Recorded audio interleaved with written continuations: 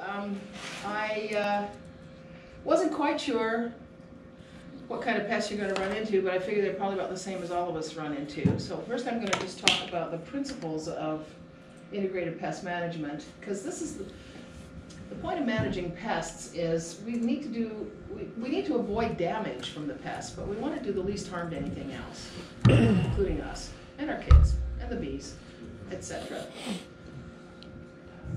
So um, the province of BC actually was a real um, nationwide leader in getting IPM established in legislation.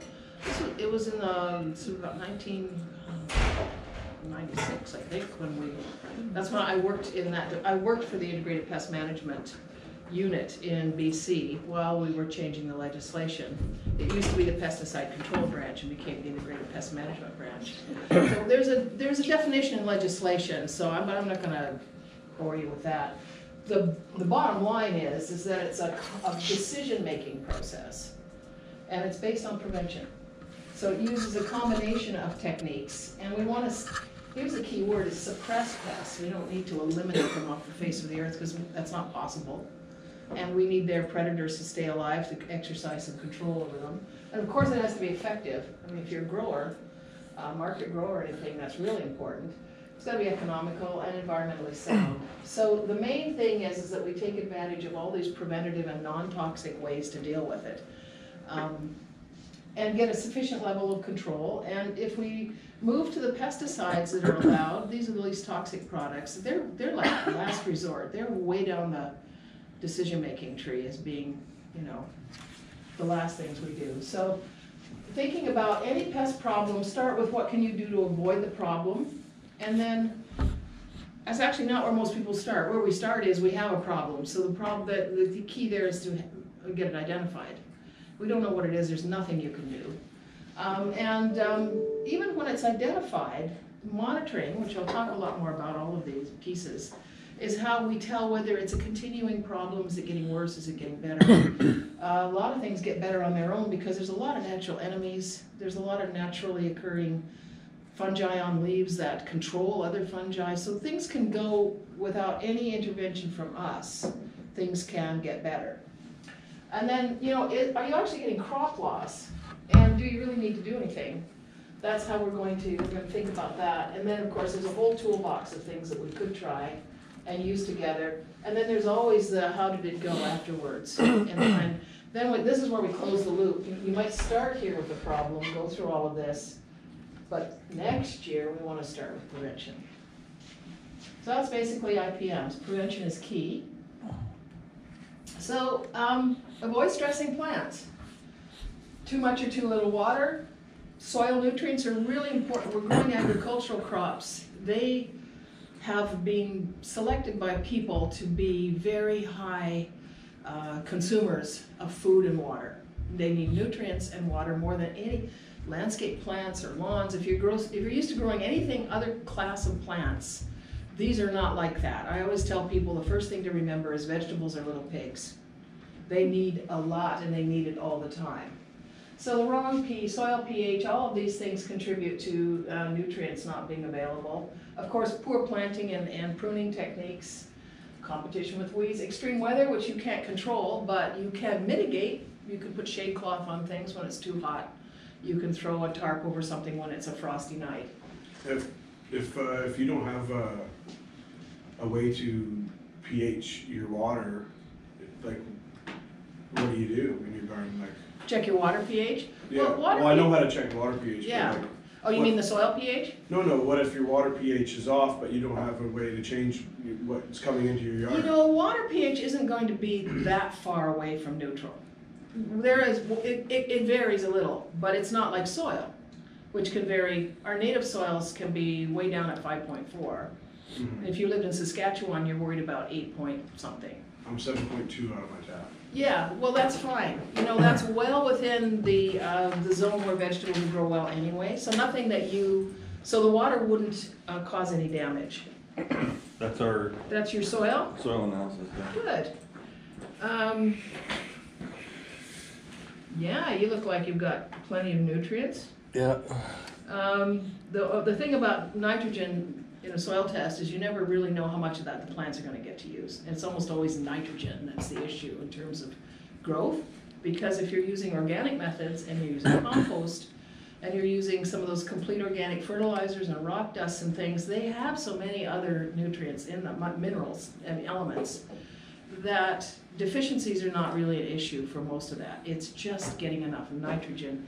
High rainfall area, nitrogen is always having to be replaced. So that's usually the, that's usually it.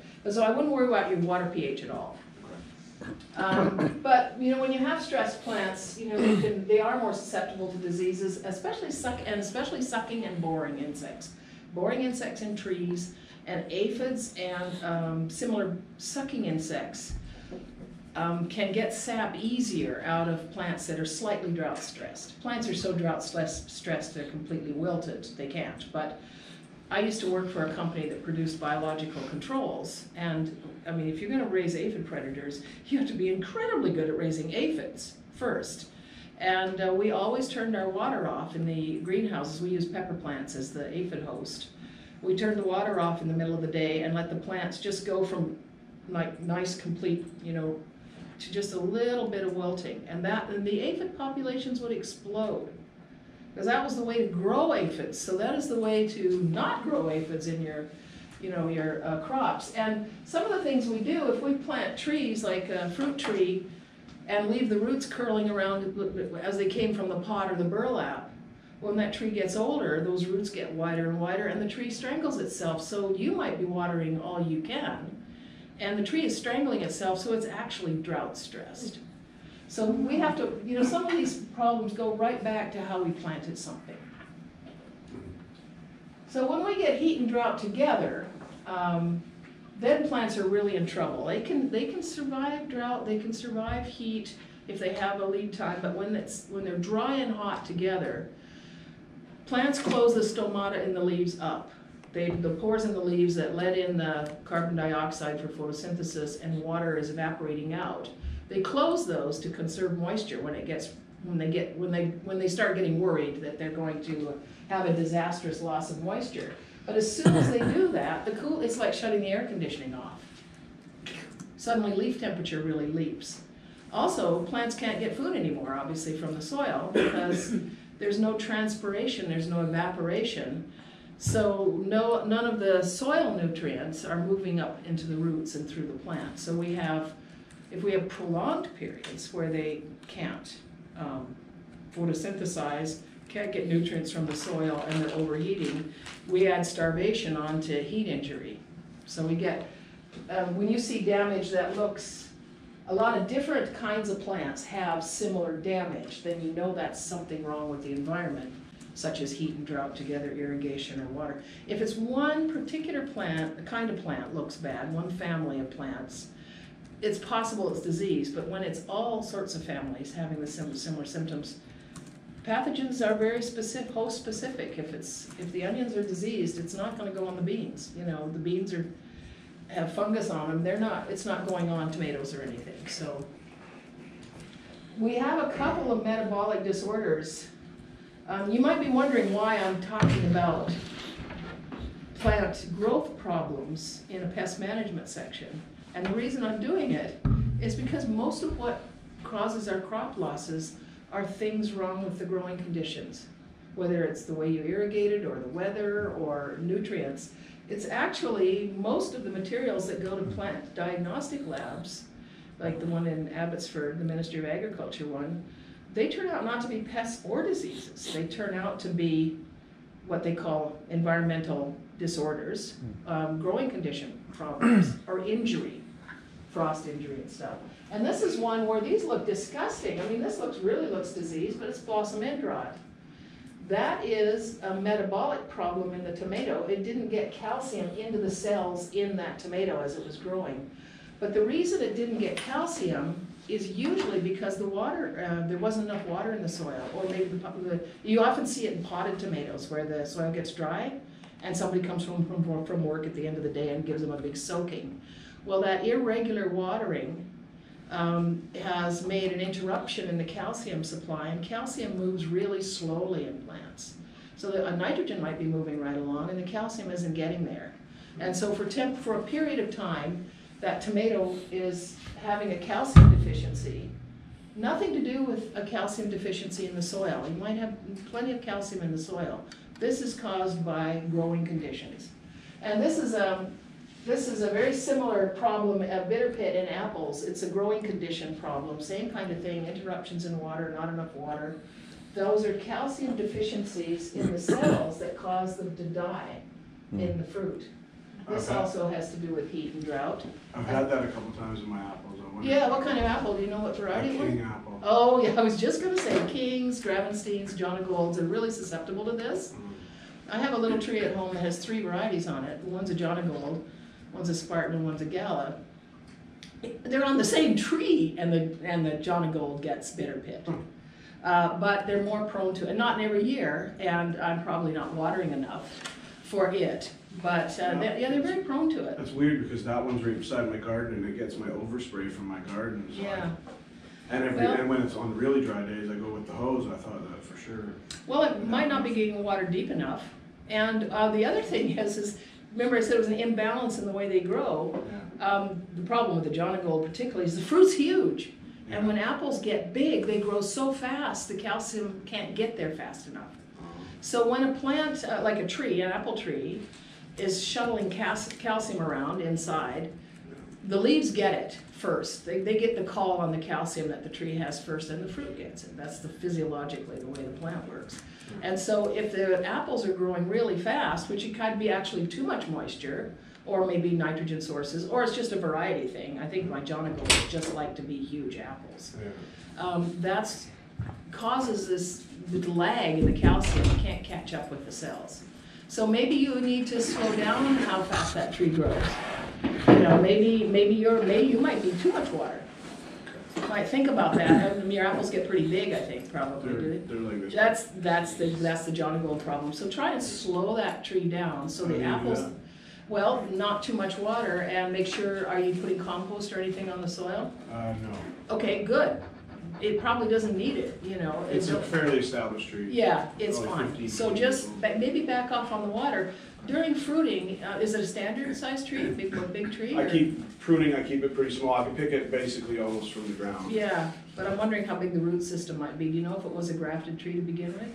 I was there when I bought the place. Yeah, uh, my old, my old uh, Gravenstein was like that, so uh, probably it's a standard root. So in that case, during fruiting only, you probably need to water once a week, like as the fruit's ripening. But you probably don't need any water um, up till that point Okay. on an established tree. So I I would back haven't off. watered it yet, but, Huh? I haven't watered it yet. It's just flowers. Yeah, I'd back right off, and when the, when the apples are actually ripening, just make sure if it's really hot and dry that it gets some drink.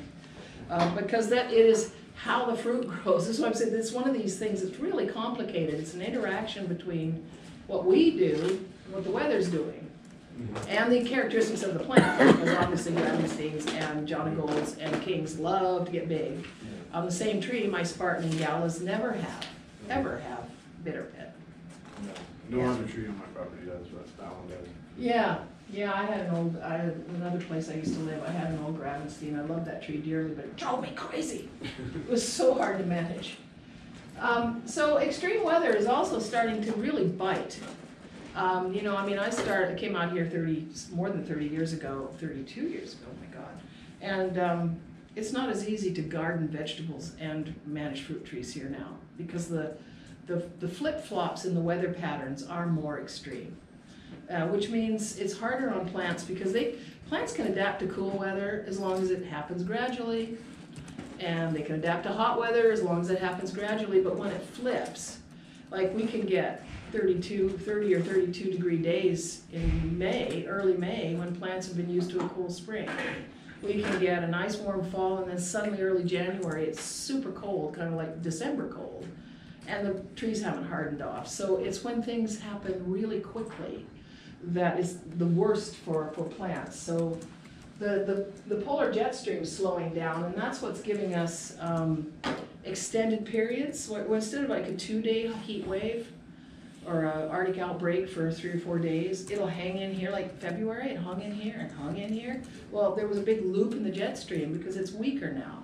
So if it's high pressure systems that are delivering heat waves or cold air mass from the Arctic that's sitting there like a cold, big cold blanket. It just doesn't move. So we were, we are getting these extended periods that are even, they're really causing damage. So you just need to be more alert as, as a grower that these conditions can hang in there and try and be ready for that. Be ready for it before it happens. And of course, more wind. You guys are familiar with wind, but more wind. Um, you know, the average temperatures are increasing globally, but it's the extremes that are really biting on us as far as growing crops and, um, you know, making sure we have market production that's, that's predictable. Yeah, I, I don't know, how many people were living around here in two fifteen? Do you remember that summer? Tofino Yep. ran right out of water, a lot of our coastal communities, no water. Um, if you look at University of Victoria, the climate, uh, change consortium there, the models that they run, they consider that the average summer in another twenty or thirty years, and that was a, that was an awful summer. How did they deal with the shortage of water?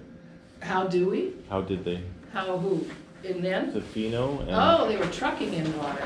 The resorts were all closing. People were canceling weddings. It was a big mess. wow. Um, I was on Salt Spring and we were squeaking, but we had, yeah. and our lake levels went so low that they had to go and ask the Ministry of Environment for permits to use more lake water because they were well below their allowed, the levels had fallen below their allowed things, but streams had gone dry. It Depends on which community, where they got their water on Vancouver Island, but it was just ridiculously difficult. And that year, the rains started in September. Some years the rains don't start till the end of October. And Vancouver was sucking mud just about the time the rains started. Their reservoirs were so dry, but Hmm. they they got lucky, you know. But that's if that's the average summer, we're gonna have to really up our game in terms of collecting water, conserving water. Mm-hmm. Yeah, they're trying to make that illegal, Yeah, rain collecting. yeah, well, and heat and and heat too. And that was a, there were some really extended heat waves that summer. Mm-hmm. I felt like I was living in my basement most of the summer. It's cool down there. It's like, you know, down there watching Netflix. Oh my God, Can't get anything done. So weird weather, weather is the new normal. So we, this we have to live with. I mean, this is a fact of life. So I mean, we had the coldest February on record, and we set heat records in Ma- March this year. And the coldest February on record means nothing because it's going to be another one of the hottest years, well, average temperature for the year. So, uh, and so our dream of growing bananas on the coast has gone out the window because we can get these long, prolonged cold waves that'll sit on us. I've, I've, you know, when I first started doing um, gardening around Victoria in the 80s, it was really easy to keep your winter vegetables all winter. I never covered them, I never did anything.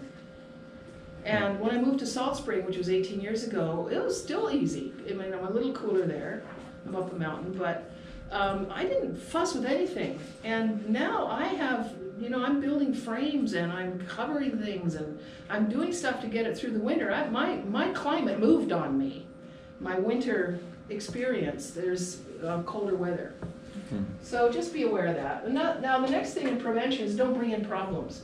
Two really serious problems that you can get in a field and you can basically never get out again is clubroot on cabbage, which is a, uh, people call, used to call it a fungus, but it's really an amoeba. And they have a dormant stage that can stay 20 to 40 years in the soil without any cabbage family being grown. So once you get it, you got it. And the only way you get it, and it's the same with white rot, which is an onion and garlic disease, is you bring it in on infected plant material. So if you always grow things from seed, you're never gonna get these diseases, because they don't, they don't just fly around in the air like fungus, uh, fungus diseases. They are in the soil and they come on, um, plants that might have it. Um, sometimes they can come on runoff from other fields that have it. But if you're careful of growing your own material from seed, or you're buying plants that have grown, someone else has grown, but they're grown in soilless mixes, you're fine. Where people run into trouble is, especially community gardens, people are always giving each other plants. Here, you know, here, my little garden, you know, and they move it all around, and no, you can't see it, right? And then um, you've got club root, and you've basically got it whatever. So white rot, you, you bring it in on infected garlic cloves or you know those bunched onions? Have you seen the sweet onions in the, they'll be in the, in the uh, plant nurseries, Walla Walla Sweets, so they grow them in the field, wash the roots off, put a rubber band around it and ship it. Those come from Washington State, and they have a lot of white rot in those fields. I would never buy those onion seedlings and put them in my soil. I think the risk is way too great.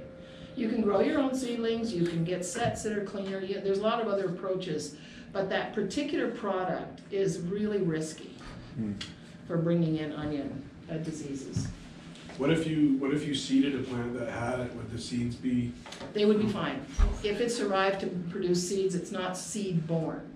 So you, so this is why you're always safe when you grow seeds or grow, get seed that was grown in soilless mix, because it's gotta be spread around on the soil that's in the roots of things, or on the actual infected plant material. So no, you're fine. So, you know, inspect things, grow certified, uh, potato, uh, seed, seed potatoes, certified disease-free, uh, and grow your own stock. Um, you've, uh, you've probably had this, but I'll just review it because it's a, I think it's a really good lesson. It actually applies to more than just plant disease, but here's the old plant disease triangle. You only get a diseased plant when you have three things and they all have to be in place at the same time. The plant has to be able to catch the disease, the organism that causes it has to be present, and that still isn't enough to have a diseased plant. The conditions have to be right for the organism to attack. So if you have late blight spores floating around in the environment, which at the end of the season we often do where potatoes are being grown, and you've got tomato plants, you've got two of these, you've got the disease organisms in the plant, but until the tomato leaves are wet, you actually wet with free water on the leaf, you don't have an environment where those spores can germinate. So you can grow tomatoes, and if you can keep the leaves dry for the whole summer, you'll never have leaf blight. So this is what I mean by going back to prevention. It's, uh, if you know how these things, what they need, and you take, you only need to remove one leg of this three-legged stool and you don't have a diseased plant. So over here, this is what a pea, this is an aphid on peas. Aphids spread a disease called a nation, uh, what's it called? Pea enation mosaic virus. No, enation mosaic virus. Um, uh, but there are varieties of peas that are readily, we can buy them anywhere here, um, that don't, that are resistant. So now we've just removed the susceptible plant. how are they resistant? Um, they've selected it to be resistant. They don't get, they don't get- get the virus, so. Not like GMO.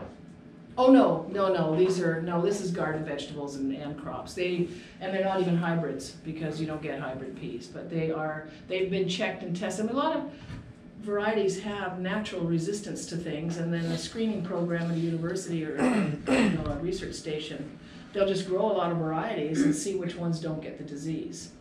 I know, I was just in Port Alberni and, um, there's a lot of um, tulip blight, and the tulips, wet weather, it's a kind of botrytis, but it's really uh, infective. I mean, it just gets into all those sorts of tulips. But I was at a community garden, or sorry, their botanical garden, they have all kinds of tulips planted, and there's whole rows of ones that are blighted and, you know, they're really disgusting. And the row right beside it of a different variety of tulip is beautiful. Just standing up, there's no disease at all. And so that's basically it. You go through and you say, well, hmm, we'll breed from these tomatoes or, uh, or tulips or we'll whatever. So uh, West Coast Seeds has both uh, um, pod peas and snap pea varieties and sugar peas that um, don't get this virus. So that's a prevention. You just take the susceptible plant out of the equation. I'm scared. what do the peas look like? The diseased peas? Are they, Oh, I've got, you know what, I've got a slide in a moment here, they're kind of, yeah, that's Yeah. exactly what It's really Mhm. dry looking shell, like desiccated spot. well, they're a bit distorted, the pods are distorted and there's marks on the, on the, on the, um, leaves. Well, I think I've got a picture here in a moment. Mhm. Here, actually, now that you mention it, right here. So the pods are kind of, I call them wibbly, you know, they're, they're warty a bit. And there's these, these, I think this is why they call it a mosaic virus, there's little yellow and silver marks in the, in the leaves, and the leaves are a bit distorted too. And eventually the plant just is stunted, stops growing. So, it's, uh, so choosing disease-resistant material, whether it's apples or pears that don't get scab disease, which is a fungus disease, Um, you know, a wet spring, scab spreads really fast. So it's really worth it to look into disease-resistant apples if somebody's planting an orchard, because it, it takes out a whole big pest problem that you don't have to deal with in future of the lifetime of those trees. Uh, But here's a zucchini growing in the middle of a patch of a squash that are getting powdery mildew, but this zucchini is resistant to powdery mildew. Okay, some ways of changing the disease environment are to, to change the environment around the plant. I mean, this isn't feasible on, on, you know, you're not gonna do this on three acres. But if you have a row of peach trees, you can keep, if you keep, keep them from getting wet in February, when people build these peach porches. And, and, you know, British gardeners used to do this on these huge walled gardens, these big acreages. They would run all the peaches along all the walls, and then they just had an overhang that stuck out like this with glass. It was like, not a greenhouse on the rest of it. And that, they were just called peach porches. So that's a way to prevent peach leaf curl, because, uh, that infects the buds as they're swelling in, in February, even though the leaves go on all summer looking weird and infected, it's actually infection happened at that one short period of time. That's not so feasible, but this is my example on, on tomatoes. People are, around this region have now taken to growing tomatoes in big open tunnels. The problem here is if you put a tomato in a tunnel or a greenhouse and there's condensation that builds up at night and it rains down on the leaves, the leaves are wet.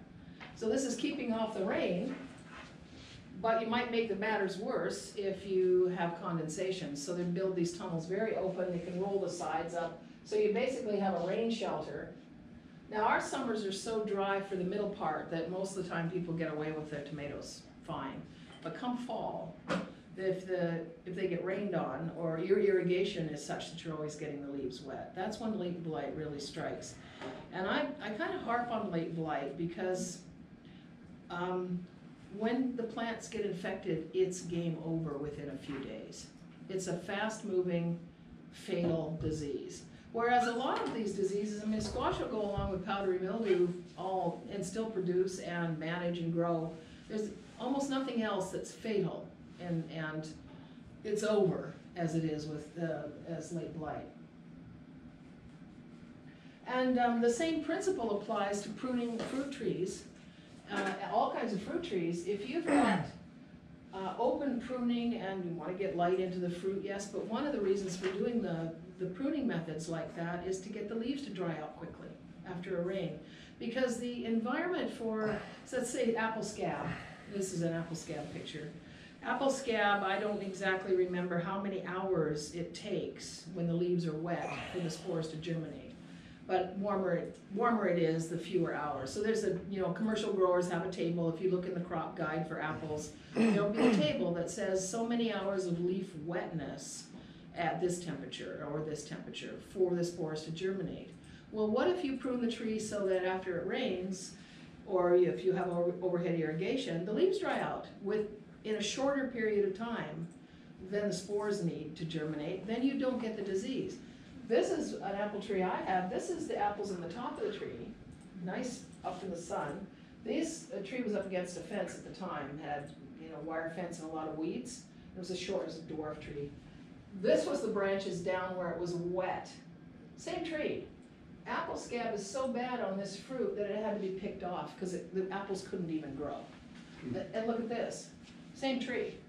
So it isn't um, a trivial prevention, it's really important. If you have open foliage so that the leaves dry off quickly, the fungus diseases just don't get enough time of wet leaf material to germinate.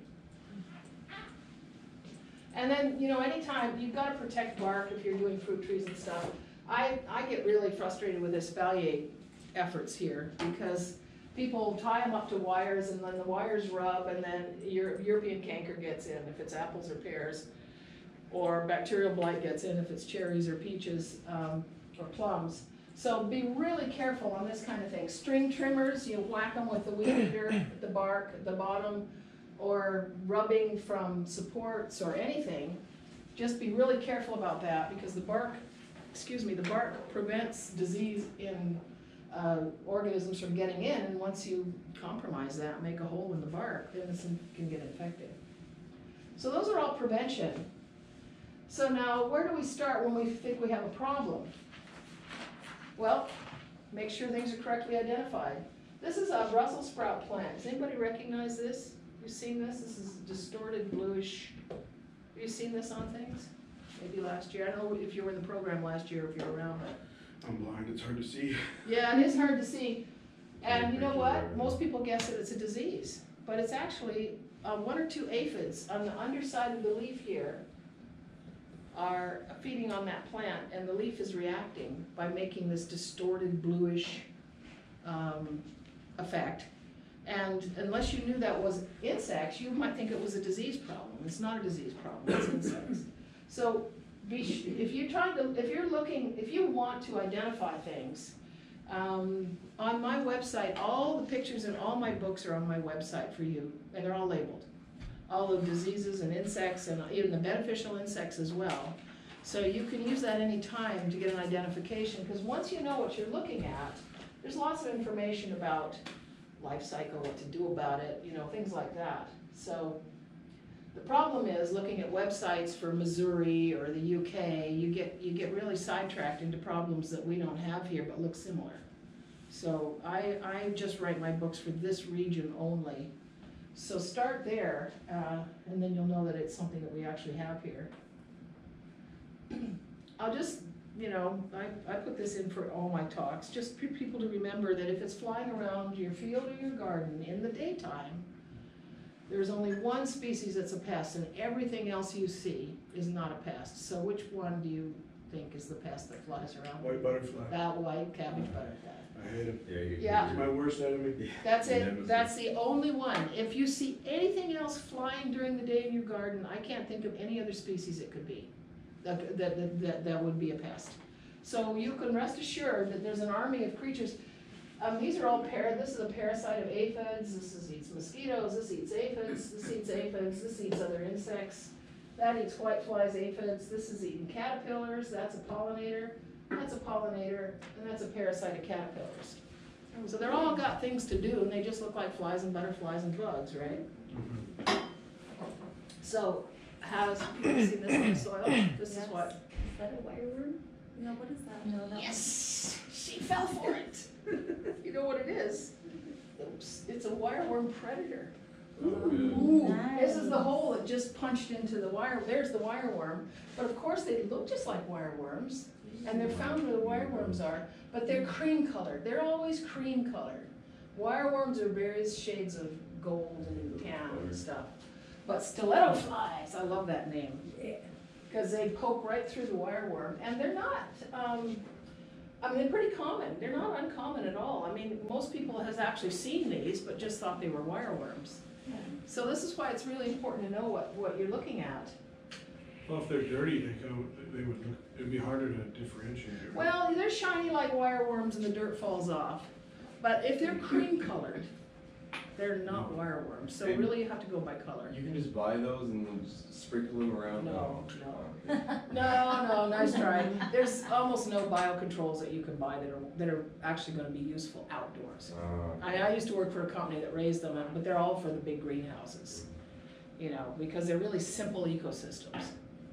And you can get, you get white flies, you put in a white fly parasite. You get spider mites, you put in the spider mite predator, the spider mite predator. But none of them, those two are not pests outdoors. Uh, they're, they're greenhouse problems. Uh, and so this is just another example of like how, how you can be really fooled. These are, this is, this damage, look how weird this is. These are blister mites on pears that are so tiny, you cannot see those mites with the naked eye. You need a microscope and a good microscope. Whereas the, that is, a, that is actually fungus disease on pears and on apples. These are scab diseases. So, you know, you really do need to know what you're dealing with because the treatment for them each is quite different. What is the treatment for the scab disease on pears? On, on pears, it's the same as apples, which is get all the leaves picked up and composted in the fall. And now pears, pear scab actually also overwinters on the trees. So lime sulfur sprays help. But apple scab doesn't overwinter on the trees. There's no point putting uh, dormant sprays on for apple scab because it's not on the tree in the wintertime. But it is, in the case of pears, you will get some of it. But the best control is also to get rid of the, compost the leaves, cause the, the spores are overwintering on the leaves. And if the leaves are shredded, I mean, you can just, in bigger orchards, you can just mow until the leaves are shredded, as long as they're decomposed by spring and not lying there kind of intact, so the um, spores can spring up in the, in the spring. So this is my point that I made earlier, most plant problems are disorders. So up, you know, half to three quarters of the samples going into labs, they turn out not to be insects or diseases. Here's blossom end rot again. This is what happens to potatoes when the irrigation system packs it in for three weeks. This is uh, bitter pit again in apples. So um, all kinds of things, but not pests. So a quick chart just to, you know, tell a disorder from a disease because plant damage can look so similar. As I said earlier, if it's limited to one variety or one plant family, it could be a disease. If it's all over a lot of unrelated plants, it's not disease.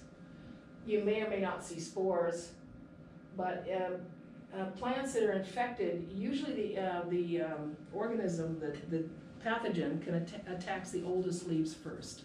Plants have a lot of ability to resist infection in their leaves, but they reserve that for their young leaves. You know, that's the leaves that have the full spectrum of, of infection resistance, um, whether it's uh, chemicals or whatever in the leaf. Uh, whereas damage, if it was uh, too hot or something wrong with the nutrients, it happens quick to all of them at once.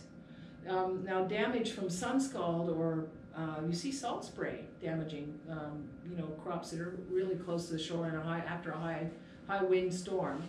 It'll be really directional. It'll be all ages of leaves, young leaves, middle leaves, and old leaves. will be all injured at the same time. And diseases don't do that. They they usually attack the old leaves first, but they don't hit the plant all at once in this kind of. It's very obvious. It looks like something has come from the side or. Um, and then the damage will keep going usually, it may go slowly. But if, if it's a disorder, the new growth will be fine, because if you can, as soon as you fix the conditions or the weather gets better, no problem. So knowing what the weather's been is a good clue to both of them, because the weather will tell you, has it been uh, whether that certain particular diseases might like, or sun scald, or whatever. So you, you need to, you know, kind of remember, I ke- I have to keep records of weather, because I don't remember what the weather was like two days ago. We have seen a lot of sun scald. We, as coastal gardeners, now the Alberni has always gotten hot in the summer, but where I live on Salt Spring or when I was, you know, out along the coast here, this is kind of new for us to uh, even know what sun scald looks like. It's like two years ago when they had to use so much salt in Vancouver. In the spring, nobody knew what salt injury looked like. If you live in Ontario, everybody knows what salt injury looks like on your plants and your lawns, but nobody in Vancouver, all these big brown spots in their lawns and stuff, and it was salt damage because they never use that kind of salt usually in the, in the winter in Vancouver. But this is a, an injury on fruit. Um, this is, this is a raspberry leaf that was uh, in a heat wave very, uh, I think the first week of May, very, very hot and doing this tip injury. Typical of sun scald or, or heat injury is that the injury is between the veins and on the outer, the edges of the leaf that are farthest from the veins where the, the liquid is flowing in the plant. When you think about it, that's logical, right? Is that just the heat or is that? Yeah, it's the heat and, well, heat and drought together, because remember, if the plant closes the stomata, suddenly they, so they can work together. Is it like an increase in UV rays? Well, you know, um, yes, if you take something out of a greenhouse, um, say it's been under glass and it hasn't had full spectrum, goes outside, you can get a very severe burn. But now in that case, it's not because of the moisture not making it, it's the cells are just don't have the sunscreen chemicals. And the injury in that case can be anywhere on the leaf and even on the stem. And that happens to cucumbers. You take cucumbers out of a glass greenhouse, put them in the But field. is it because more um, ultraviolet radiation get, is getting through the atmosphere? Well, that can be, actually, interestingly, that, that has been a problem in the past. The ozone hole is patching itself up, though. It's less of a problem. When I was a kid, you used to pull onions out and cure them on the ground in the summertime, and now you never do that because there's too much solar radiation. You will burn the onions. You will actually damage the fruit skin, so you have to cure them in the shade. So that can be an effect from, you know, something that we did fifty years ago compared to now. but it's not part of the climate change picture. But it certainly is an issue if you take plants out of any protected cultivation and pop them straight into full sun. You need to get them, it's just like people getting a tan, you have to get them used to it. Because the plants don't make sunscreen chemicals in their cells if they don't need it, because it takes energy to do that. So they're not gonna do anything they don't need.